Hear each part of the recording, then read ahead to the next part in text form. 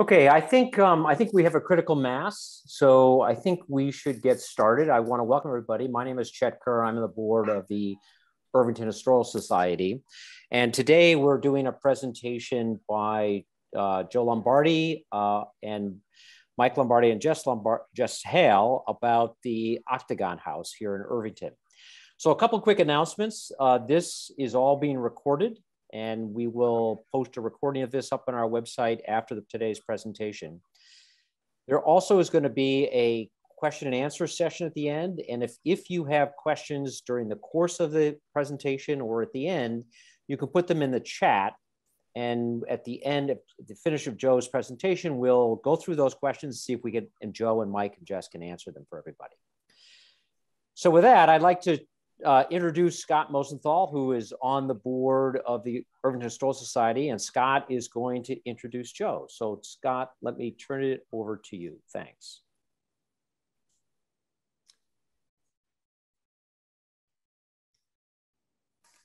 Thank you, Chet. My name is Scott Mosenthal, and I am a member of the Irvington Historical Society. I'm privileged to introduce Joseph Lombardi, who today will talk about his remarkable work with the Octagon House. I came to know Joe through the Irvington Historical Society's Legacy Project, which honors a small number of senior Irvington residents each year who have had a significant impact upon the village. Joe, an internationally renowned restoration architect and preservationist who has owned the Octagon House since 1978, was an obvious choice. Joe came to Irvington in 1953 from a New York City neighborhood. As he mentioned in his legacy interview, as a youngster, he had a newspaper route on West Clinton Avenue and was very much aware of the Octagon House. This uniquely fabulous structure influenced him because it showed him how extraordinarily strange, fascinating, and even haunting an older house could be. When Joe was 38 and practicing restoration architecture in New York City, the Octagon's then owner, Carl Carmer, gave an interview to the New York Times and said that he was interested in doing something with the house. He was ready to let go of it. At the moment, there was a developer who had the bright idea to tear down the Octagon House, get a variance to create eight houses on the land and call it Octagon Park. Joe met with Carl and said, quote, I am going to be the one that's restoring this house come hell or high water. The rest, of course, is history. He has been restoring the home and the various other buildings on the grounds for the past 44 years. The Octagon House, also known as the Armour Stiner House, is one of the most visually unique homes in the world. It is the only fully domed octagonal residence and is the only known residence in the world built in the domed, colonnaded shape of a Roman temple. The interior of the house, its decoration, and its 1870s furnishings are the best display in the country of the American neo-Roman style, which was popular in the late 19th century. The house is an Irvington treasure, as is its owner. I am honored to present Joe Lombardi to you for today's talk. Thank you kindly, Scott. That was very kind of you, and your, your words are like magic, beautiful. So I'll, I'm gonna begin by sharing my screen.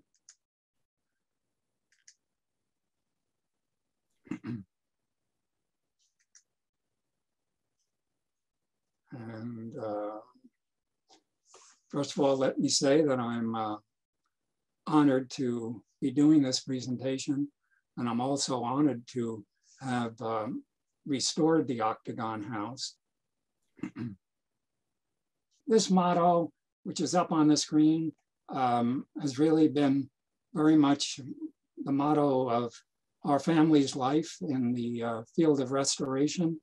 Um, that, that in fact, conservation and restoration of our built environment is really the one firm foothold. And so often I've, I've thought of this uh, wonderful saying. The Armour of Octagon House um, is of special significance to our family. Um, and we, as Scott so kindly mentioned, we've been at it for 44 years and it'll continue on in the family um, doing the very same thing that, that's been occurring so far. This is a, a video clip, approximately four minutes. That will eventually be a, a one hour video clip that's to be available.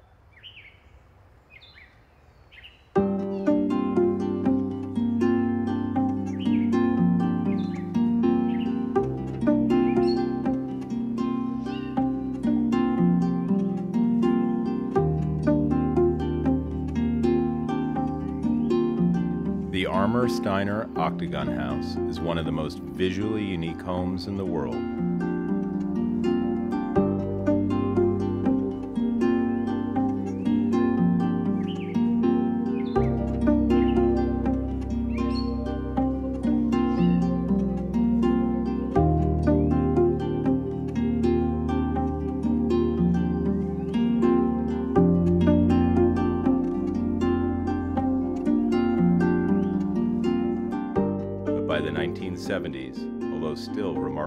Intact, the house was in extreme disrepair. The entire structure was on the verge of imploding, with the spectacular dome so separated at the seams that birds could enter through the gaps. The house was on the brink of becoming only a photographic memory.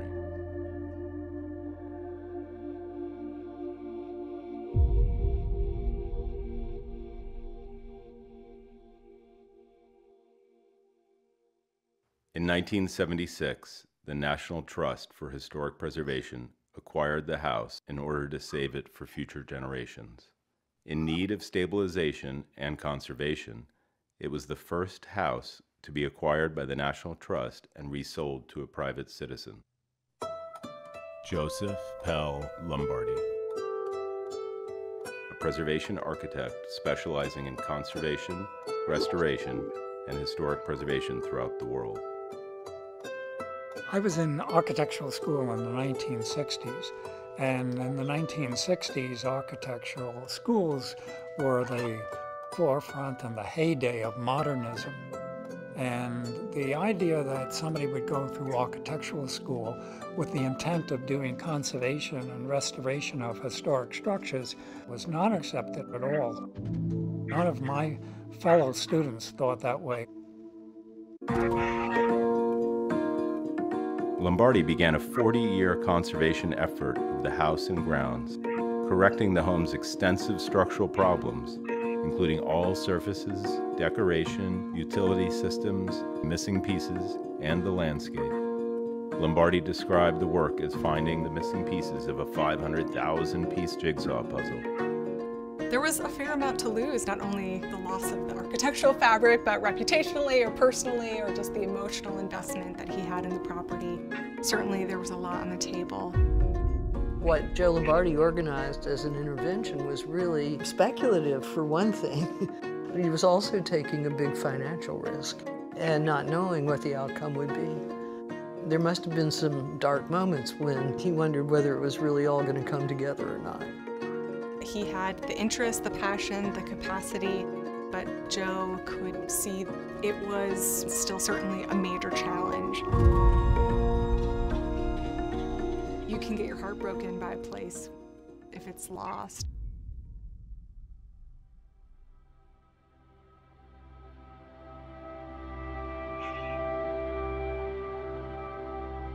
One of the things about the restoration of this house that is so special is the adherence to all the details as they were found. That's really the essence of the practice of historic preservation. Joe was absolutely insistent nothing was going to be changed if it could be preserved.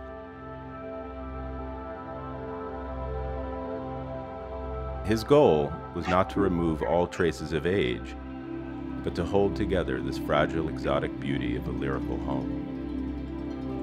What was at stake for me was everything, really. Here I was, a, a young preservationist, starting out with something that could become a failure. And if it became a failure, I wasn't going to be known for the person who saved the Octagon House. I was going to be known for the person who lost the Octagon House. There was no retreat. I was too committed. So taking on the Octagon House really meant that my whole career was at stake.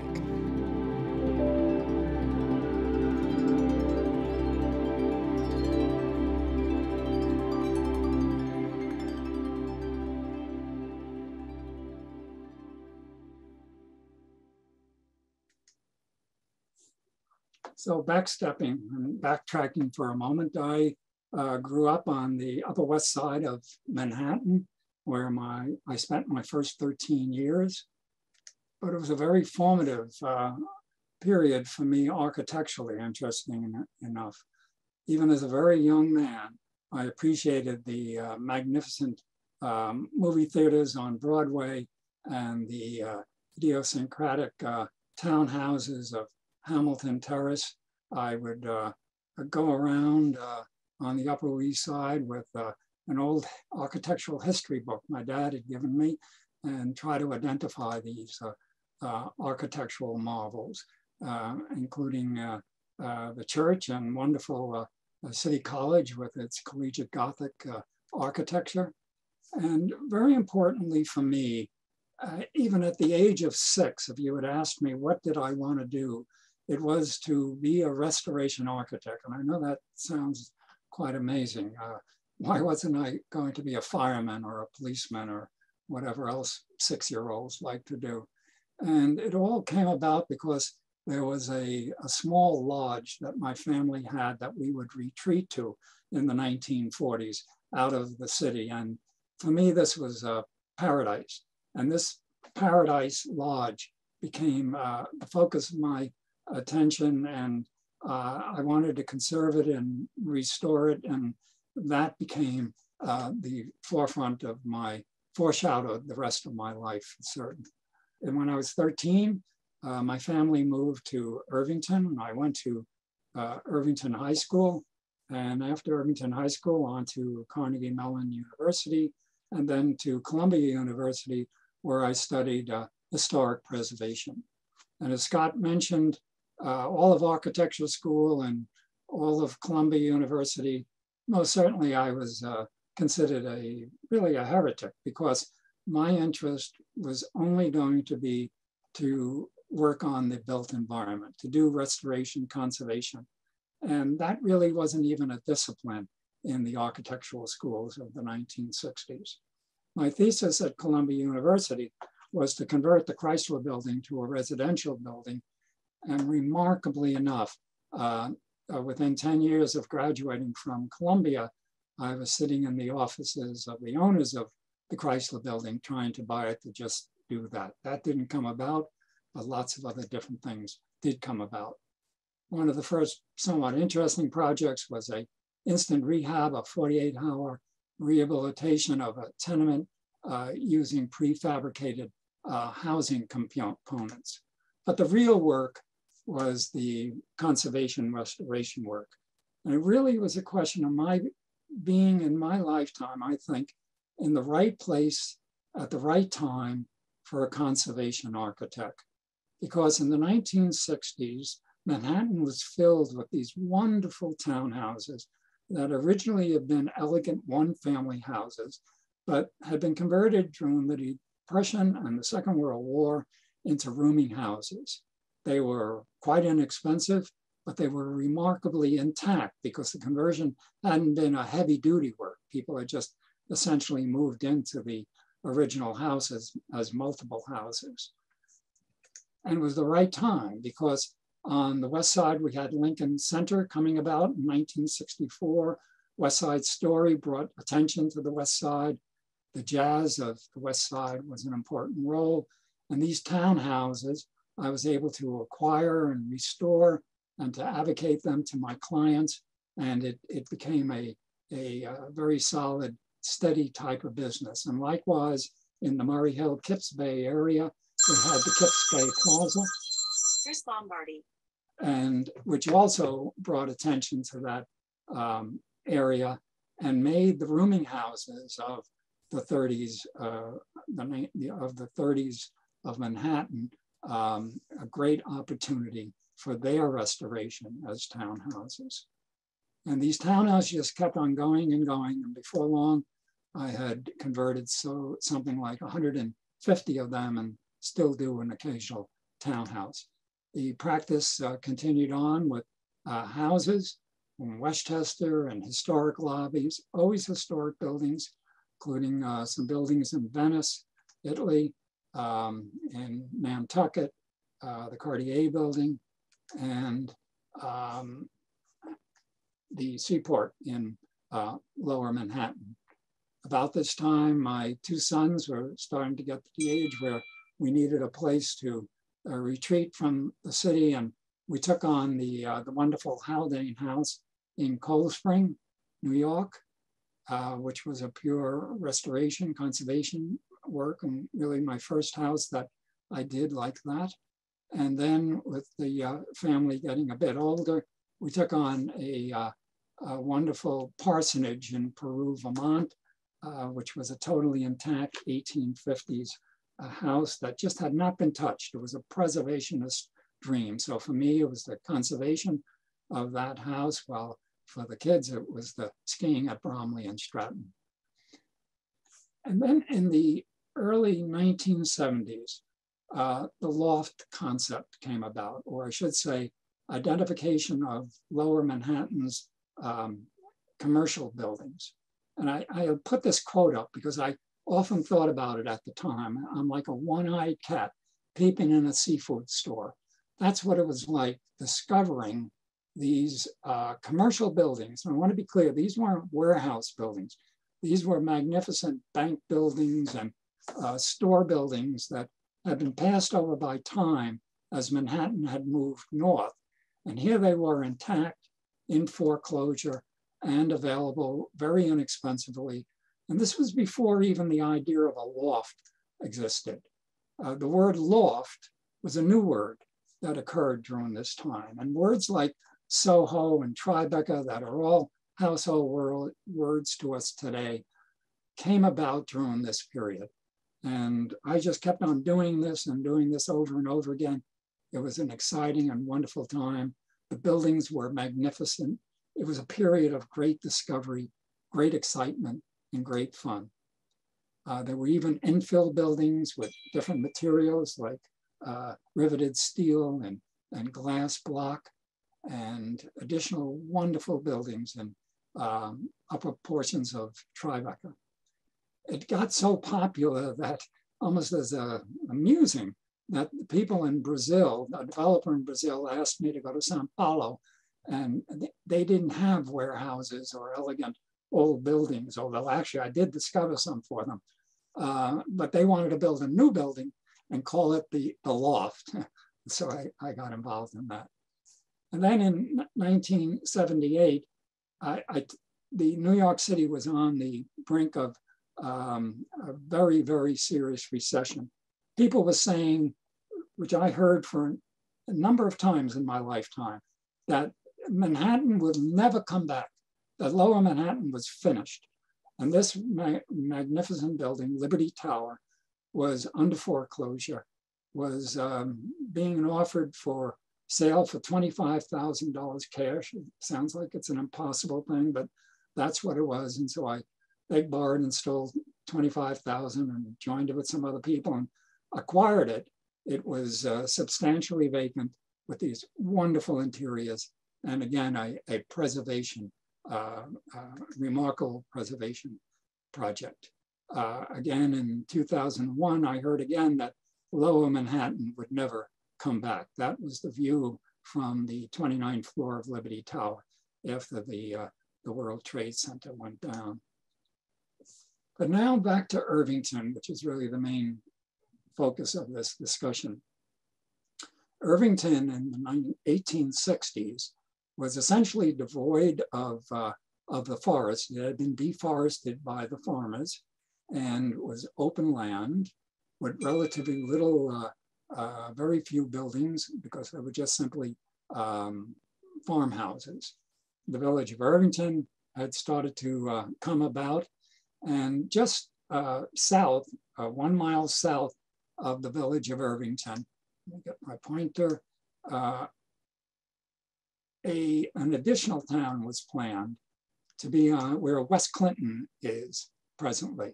And it was to be called Abbotsford. So you can imagine that another village was going to occur there. And so one of the first houses that got built was a, an octagonal house, uh, which was the um, which was a question as to why one would go ahead and use or build an octagonal house. And let me explain that for you. So it was the case that uh, in this period of the 19th century, uh, Orson Squire Fowler wrote a book called The Octagon Mode of Building, which actually became to be an incredibly popular uh, book. And it's hard to imagine, but some 3,000 octagonal houses were built based upon this book. Relatively small, like this little house here. And they're scattered throughout the country, um, really kind of obscure. Uh, probably only about 2,000 of them still exist, but they're out there. Only a very, very few of them are of the, the caliber of the Armour-Stiner Octagon House. Perhaps three of them that are so large and elegant. The rest were an inexpensive way of housing as Orson Fowler saw it. Now, Fowler also had another uh, industry or business, which was that he was a phrenologist, which was the study of the bumps on one's head. He believed that, that people exercise uh, certain particular muscles in their brain, and that would elevate portions of their head. So he would feel your cranium and for a dollar tell you that the stubborn portion was elevated, that you should be less stubborn, ask you for a dollar. He would then come back and see if you would practice being less stubborn, and therefore that part of your cranium had reduced. Uh, the New York Times said, in fact, there's just one fault with phrenology, and that is that it's not true and not a trace of a ghost of reason for believing it to be true. But nonetheless, uh, Fowler was a very uh, popular uh, person at the time. So enter uh, Joseph Stiner.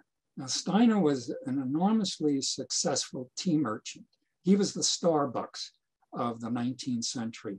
He had 76 tea and coffee shops scattered throughout Manhattan, as well as being a very important importer of teas and coffees. So he bought that two-story house that Armour had built in the 1860s and reconstructed it entirely. So the house very much is the Armour Stiner, the Armour Stiner house is very much the Stiner house that was created by Joseph Stiner in 1872 after he acquired it.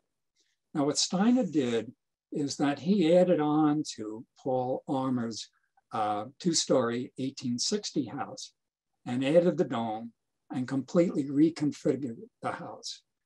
He did it at a time when Neo-Roman or Roman style was extremely popular in the uh, third quarter of the 19th century America. And the house is essentially uh, the creation of a classic, excuse me, of a classic building, much like the United States Capitol building. But more important, it's exactly like the Tempietto by Bramante. And the Tempietto is what influenced uh, Stiner or Stiner's designers in creating the Armour Stiner octagon house as we know it today. The house had all of the attributes that Fowler felt were important about an octagonal shaped house.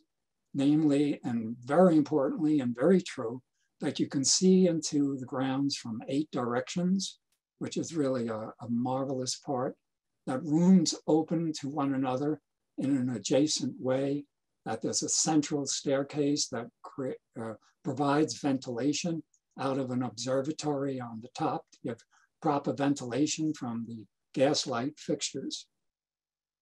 Stiner sold the house shortly after his wife passed away, the feeling being that it was a labor of love of uh, he and his wife.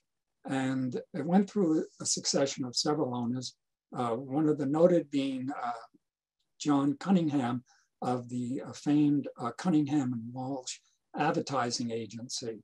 That photo on the left-hand top is uh, during Cunningham's period.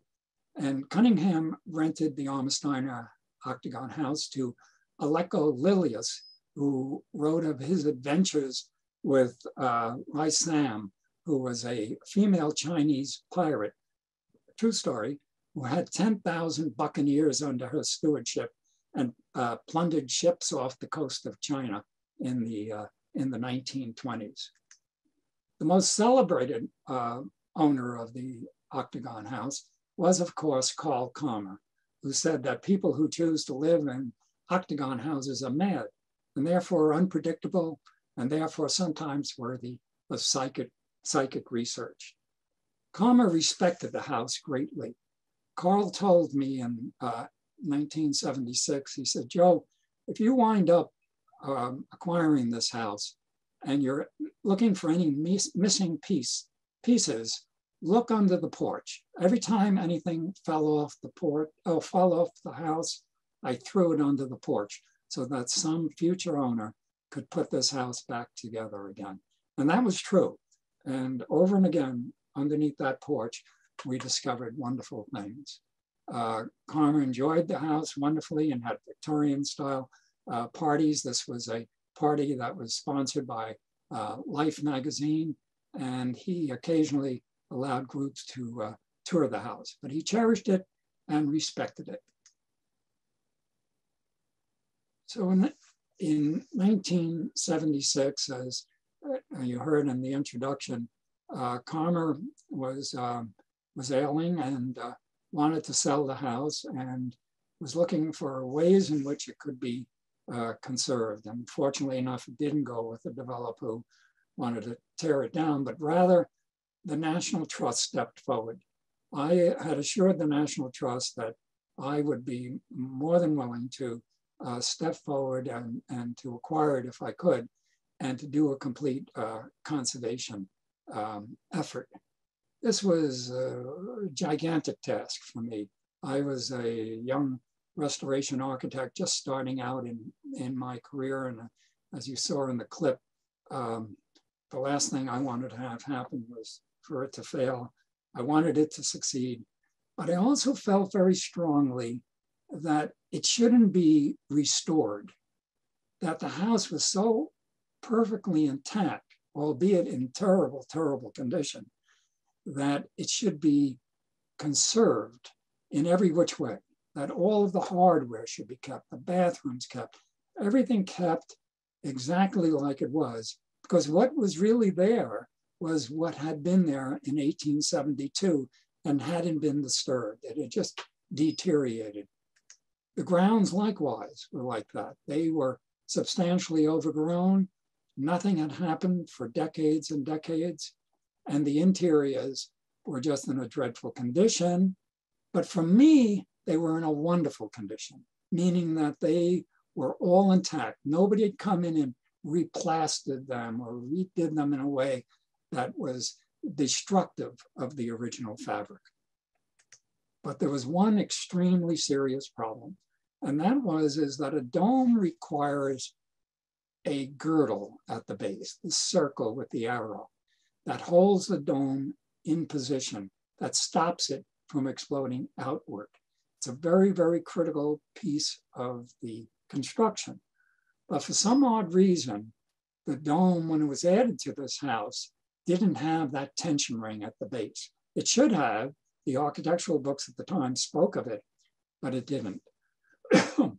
so the dome had separated so much that birds were able to fly in in the separations and had come apart and split at the seams. So the question was is how, how, how to go about it. An engineer associate of mine, Eugene Avalon, had the idea of wrapping it in high tension steel uh, cables with turnbuckles uh, and also having cables going from one corner to another with turnbuckles and to slowly bring it back into uh, position. This was an untried idea um, and certainly gave uh, a great deal of concern. And there were a lot of doubting Thomases who said that the idea simply wasn't going to work. But fortunately for all of us, uh, after two years of slowly tightening it, it came back. I had predicted it would not come back into position perfectly, but it did. It actually slid back in the last moment. And so we put a tension ring uh, hidden uh, behind the second floor gutter, which was a, a steel band around the base. And that provided the stability that made the octagon house dome uh, stable for uh, now forever. And so we were able to start in on the interiors. That's uh, son Mike with his little saw, and that's me bent over.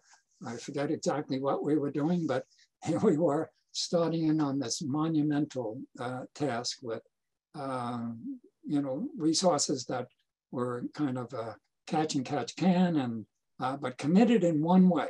We were not going to allow anything new to come in. It had to be exactly what was there originally. If we couldn't find a door hinge that was the original door hinge, well, the door just couldn't get hung until we could find the right hinge.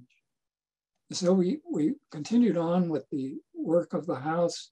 Um, we put in new mechanicals, plumbing, heating, electric, but everything 100% concealed and nothing disturbing the uh, interior fabric of the house.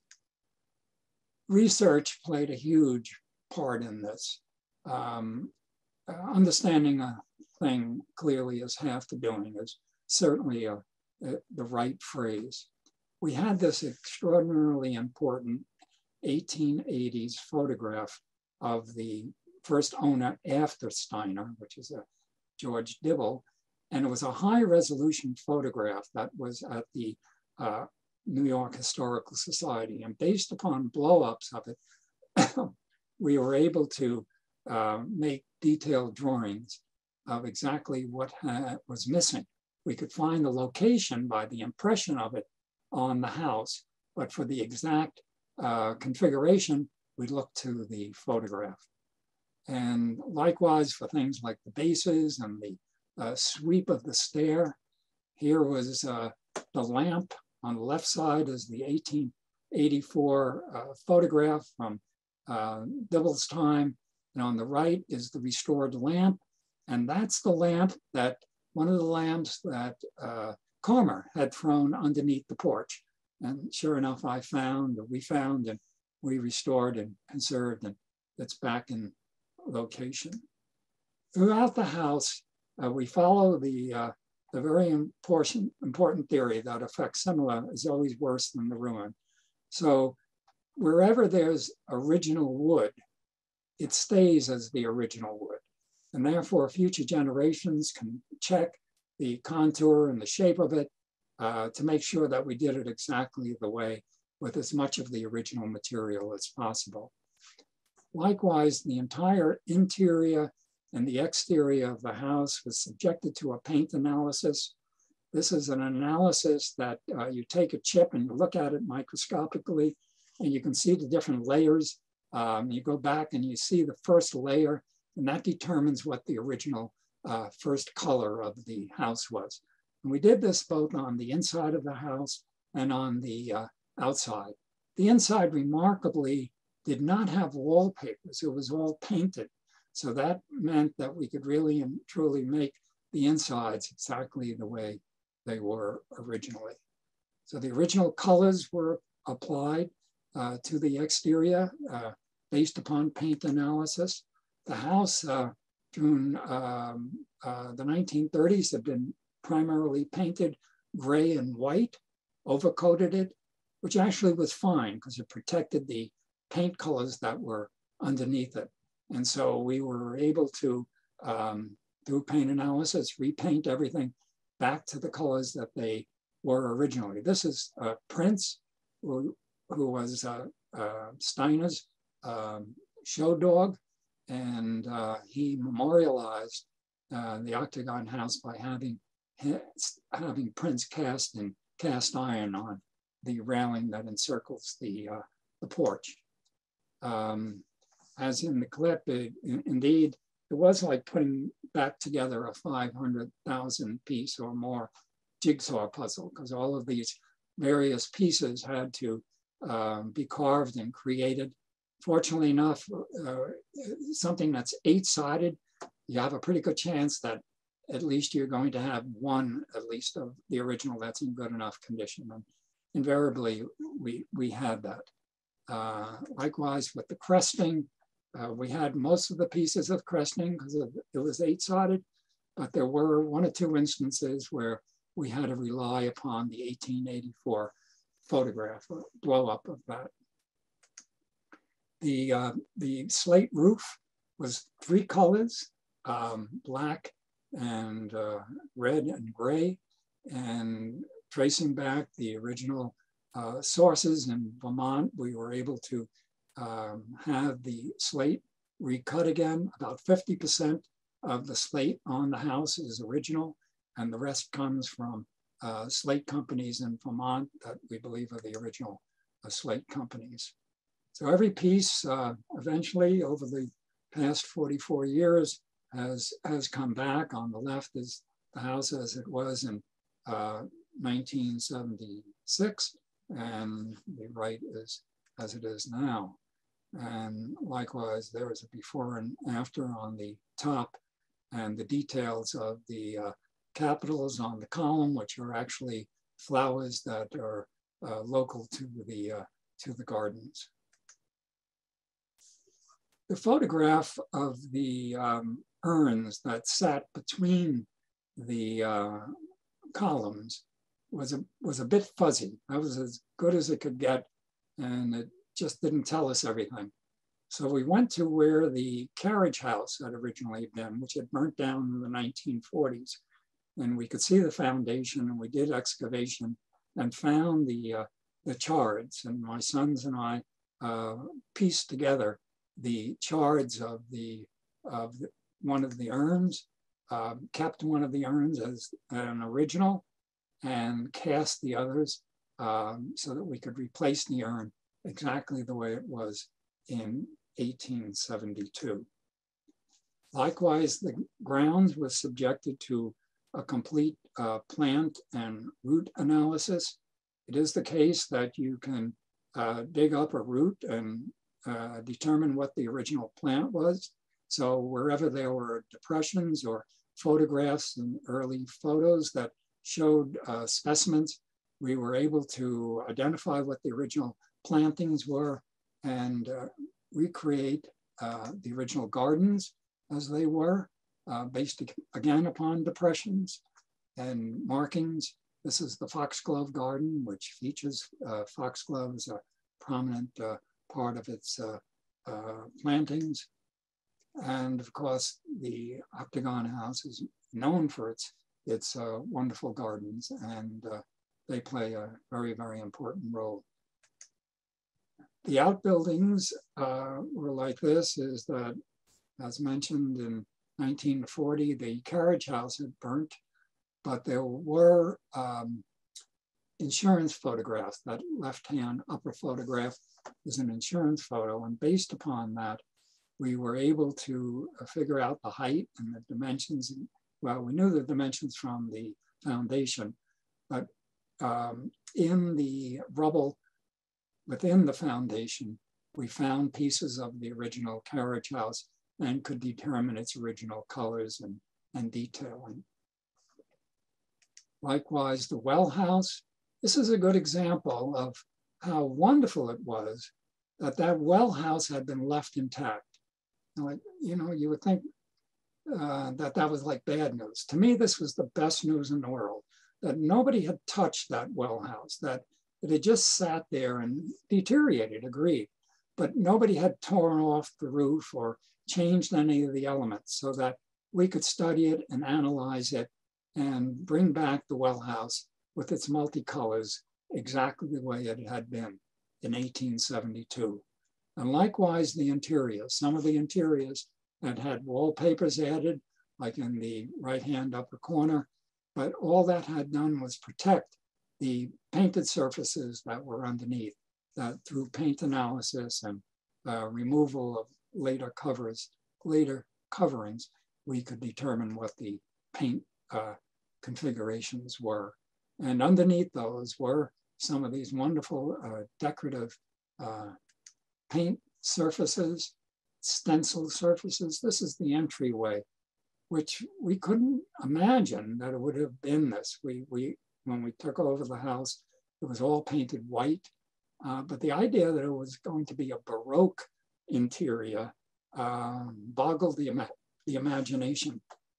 The only reason we can look to for why that might be the case is the great classic uh, Palladian villas have Baroque interiors, and maybe that's what inf influenced Stiner to do a, a Baroque silver, copper, and bronze leaf uh, entryway.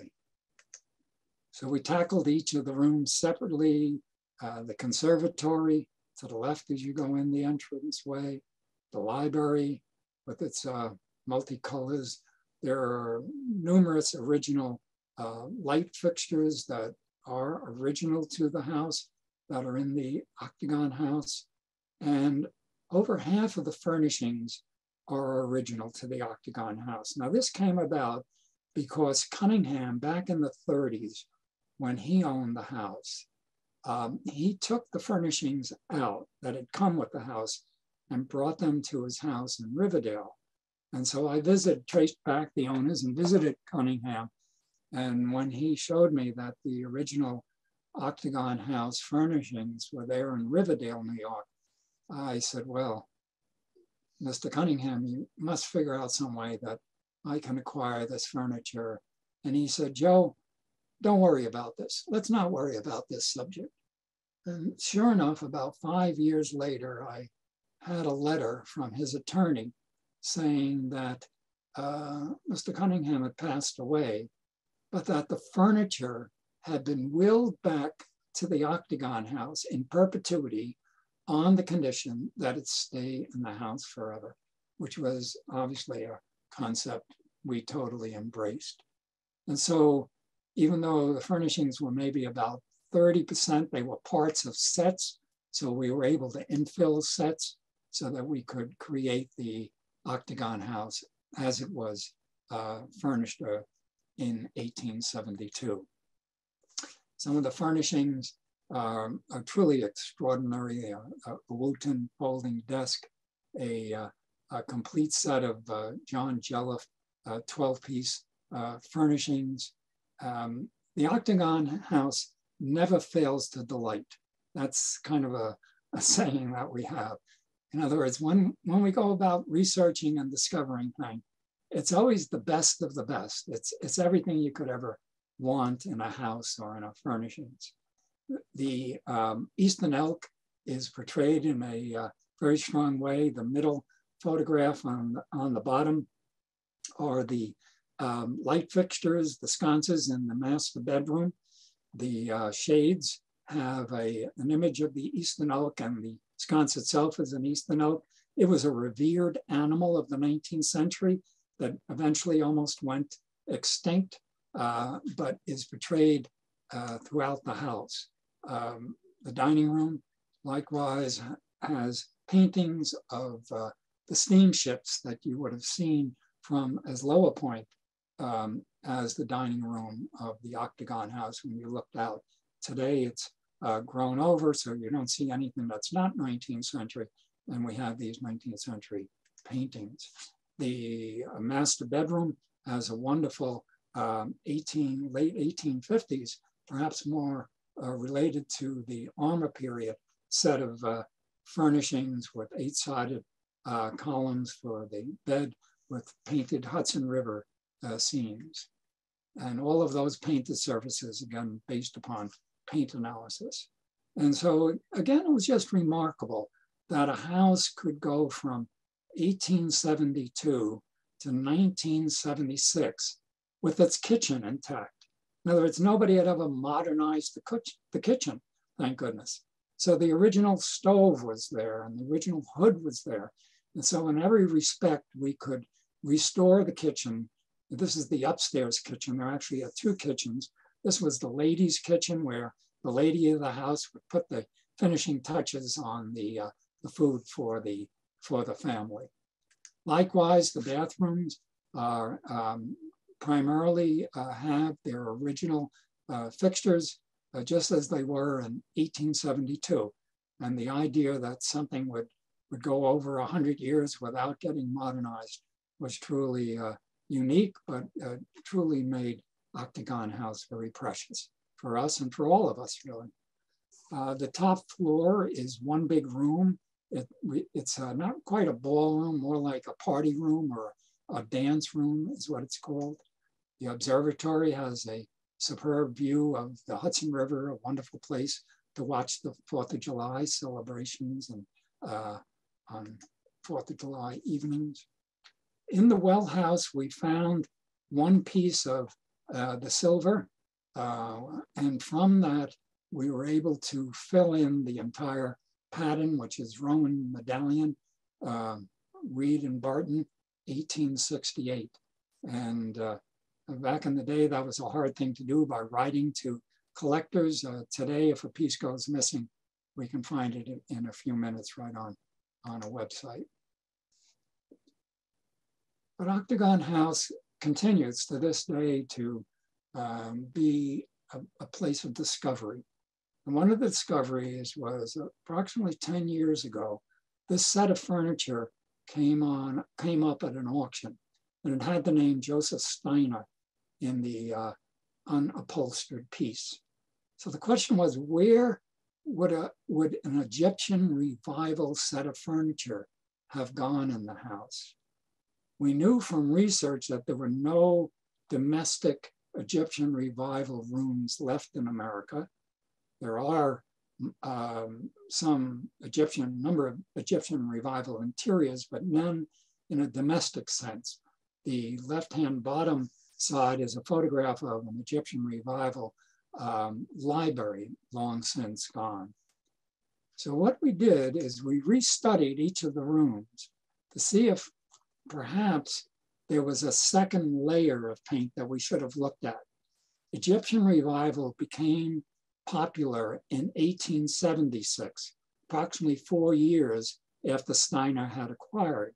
So it stood to reason that the second layer of paint would be the layer that we should be looking for. So we looked at each of the rooms and sure enough, on the third floor in the music room, we started to find Egyptian revival motifs. And so we were able to recreate, and I say we, the attention has to go to my son, Michael, who quarterbacked this incredible project uh, over a several year span of restoring the uh, decorative painting of the only now surviving Egyptian revival room uh, in the country. And the room has some truly remarkable pieces.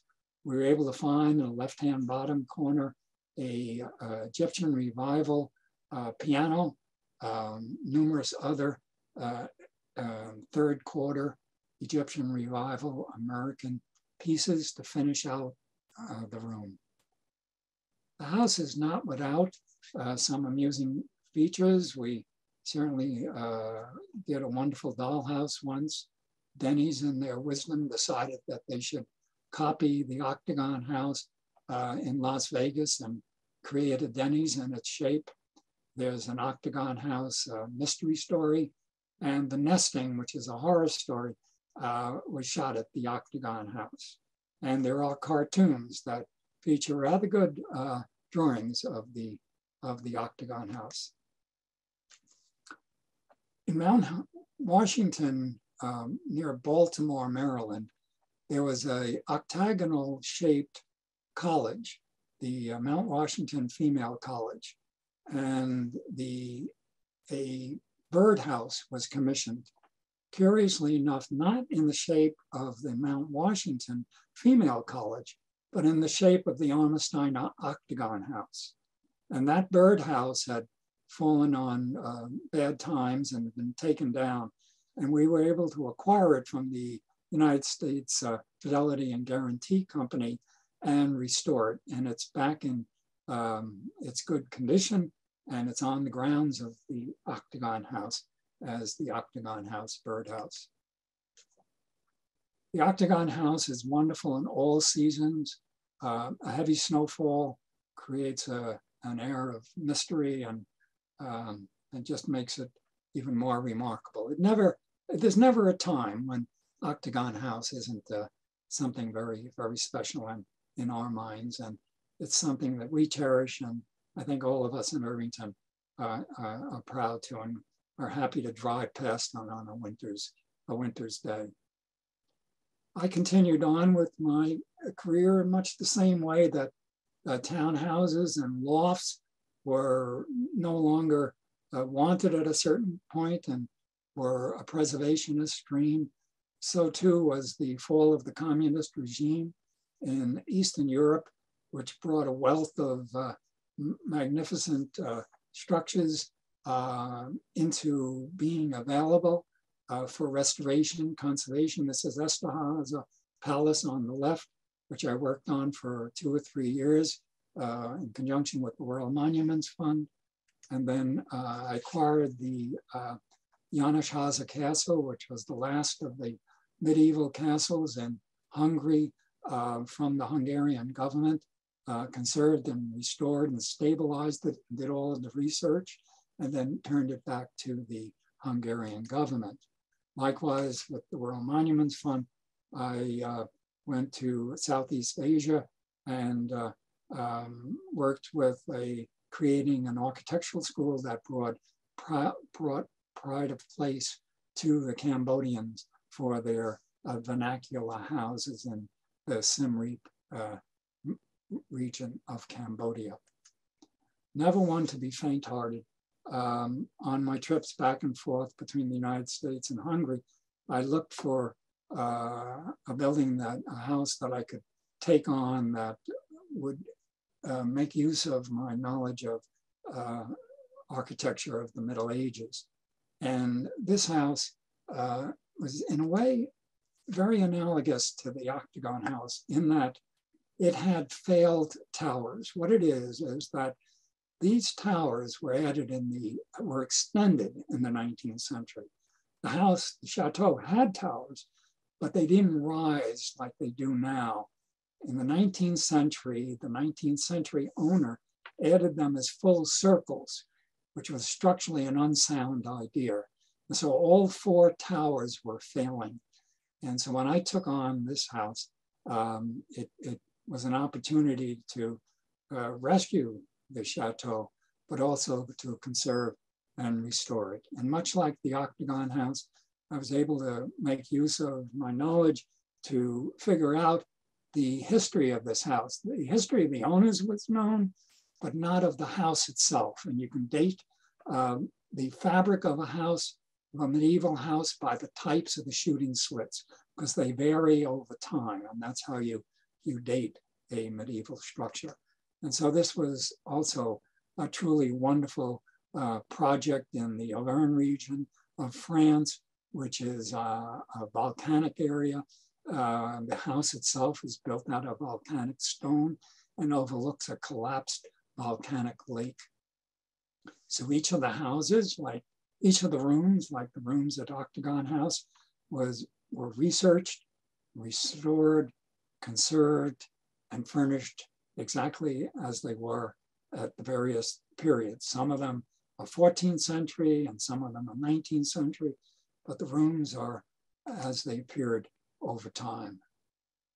Likewise, at the Octagon House, the uh, Chateau de Saillant is open to the public and uh, operates as a, uh, as a museum.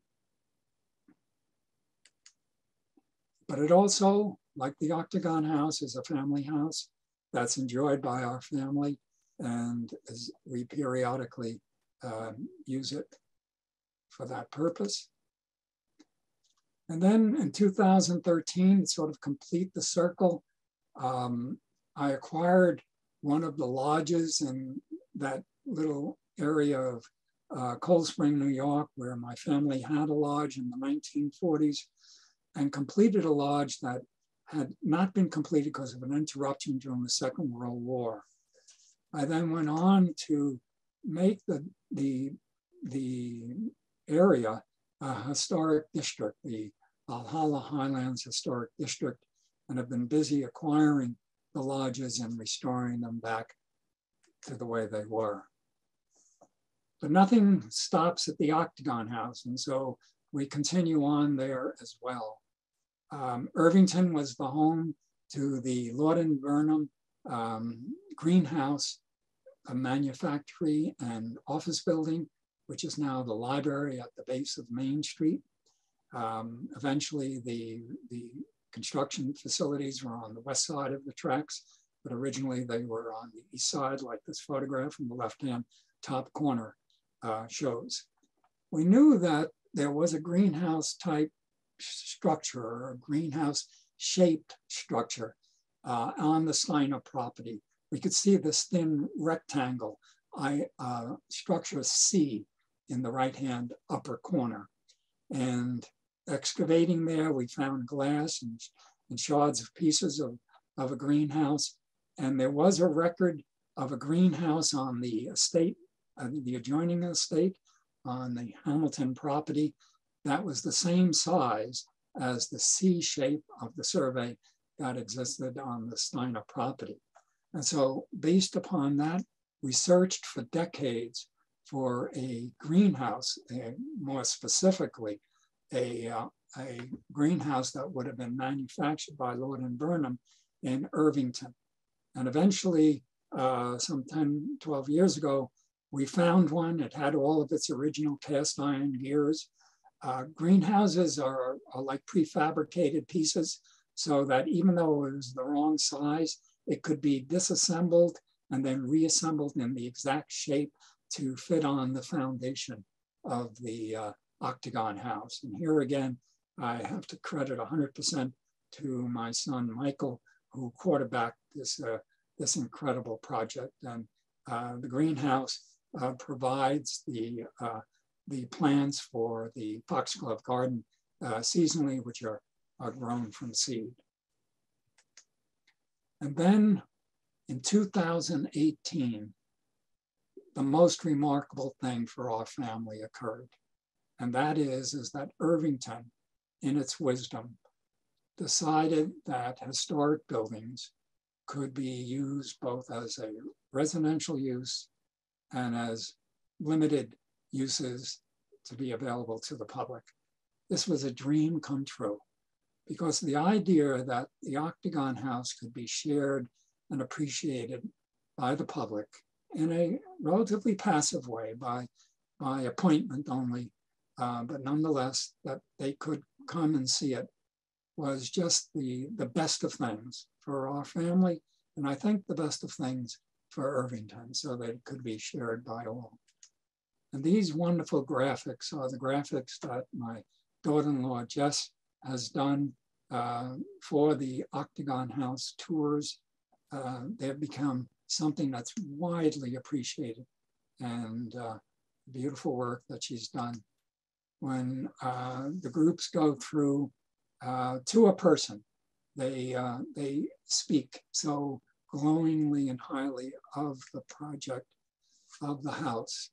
Um, you can go online at any time and read these wonderful sayings that people are compelled to say about their experience of having been able to see the Octagon House. The Octagon House is very much a family activity. It's, uh, it's all of us pitching together. That's grandson Enzo sweeping the porch before the visitors arrive. Um, that's the, the Octagon, the Armour-Stiner Octagon House book in the, uh, in the background, um, which is available. And this uh, Christmas, we're going to be having an Octagon House Christmas ornament, which is a careful scale um, model of the Octagon House, and it's also an ornament. Likewise, the Octagon House, just as the Irvington law said, is a, is a home for the family. And it's a place that's appreciated by all of us uh, for celebrations and, and uh, as a place for us to enjoy. So I hope that our family has done the best that we could by the, the Octagon House. I'd like to close with this, this saying that technique is long, life is short, opportunity fleeting, experiment perilous, and judgment difficult. And I think that relates very much to Octagon House.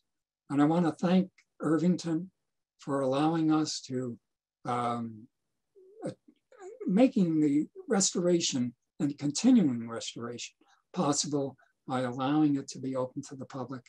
And very much so the Irvington Historical Society for allowing us, our family, to make this presentation.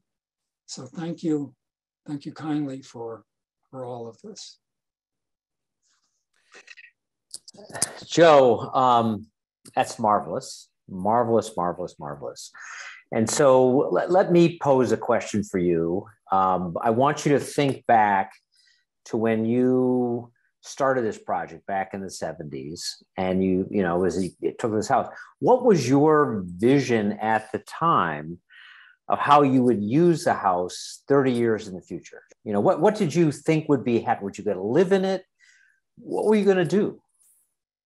Just the way it is now. In other words that was the dream that that i could live in it that my family could live in it my descendants could live in it but that it also could be appreciated by the public.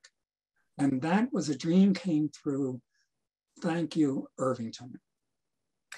So another question that came up is is obviously you've done a tremendous amount of research. Had was this just something that you learned as, as an architect? How did you learn to do and collect all of this information? I, I'm interested in historical research myself, and I'm just amazed at the depth of what you're able to have found, both in images and stories and history. How did you do it? So, a preservation architect is research, research, and research. Okay. So, in other words, that's that's the whole secret behind conservation and restoration is to know the thing and to dig in and figure it out every which way you can. It's history, above ground archaeology, paint analysis, whatever you can learn about something. And that's what we did. And we followed at the Octagon House. Nothing new was added. We held out until we could find the exact right thing that was historically appropriate. And that's the guideline.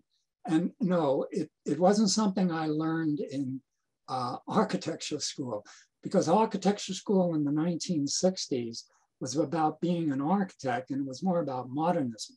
So I, I built up my um, agenda with history courses at the school that I was at. But then when Columbia University got involved in historic preservation, then I was able to hone my skills at Columbia. Mm-hmm. And and one other question is just um, when you were you mentioned when you were when you got to the house, the, the hoop that held the dome had well, hadn't been built in the house. You had to kind of recreate that of it. Obviously, a tremendous structural, risky thing to do to save the dome. Were there other structural parts of the house that needed to be refurbished or redone? I, I, by it and it's just an amazing structure. I often wonder how does it hold itself up. So, you know, what how is it that you, this the structure of the house has survived for so long? So the answer is this it seems like the designer that created the shape for Stiner of the Stiner octagon house as we know it today was a designer and not somebody who was a, either a trained architect or a structural engineer by any stretch. And that's why they, they failed to put the, the uh, tension ring at the base of the dome but elsewhere in the house, there were other structural uh, shortcomings that we had to correct. Over and again, there were um, about the house that was structurally incorrect. And so they had to be discovered and then corrected. They're all corrected now.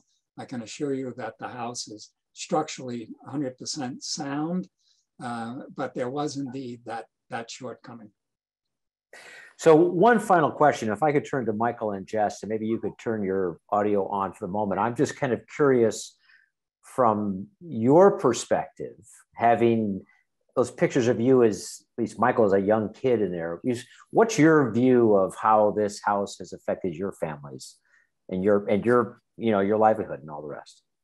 Wow, wow, that's quite a question, Chet. Um, it has affected every aspect of my life. Uh, um, on a fundamental level, uh, it's taught me so many things uh, about setting my opinions aside, setting my uh, conjecture aside, and and really kind of staying true to what was and what is. Um, and uh, it's you know I, I grew up uh, surrounded by preservation and restoration and the work going on at the Octagon House. Um, it was uh, it was something that I, I couldn't wait to get more involved. I saw so many people just working endless hours. My father uh, devoting so much of his life to restoring it. I just you know I just wanted to be a part of that, and uh, uh, I got married there, my wife here, and uh, and we, you know, we live here on the property, and um, you know, and it's come full circle in that I think the passion that my father has put into the restoration of the house uh, and uh, the dedication that I've put into it over the years, uh, you know, we've kind of worked just with that singular track of focus. Um, and uh, to be able to open up to the public and to receive feedback uh, is just tremendously gratifying. Uh, the response that people um, receive from from coming from a tour, uh, we, you know, we I just uh, I'm very grateful that uh, people do share their feedback because that's just the unexpected joy of the work that we've done. Um, so, well, great. Great, great, great. So I think we've been probably going for a bit. So Veronica, maybe I could ask you to come in and and maybe give everyone a special thanks and just some final words if you could come back on for a second. Thanks so much. This is Veronica Gederich, who is the president of the Irvington Historical Society and the mover and shaker behind all the things we do. Thank you, Joe, for a, a, a remarkable program and thank you for sharing your wonderful career with us all. Um, Joe, Michael, and Jess, we all want to say we are truly grateful for what you do to preserve one of Irvington's most important structures.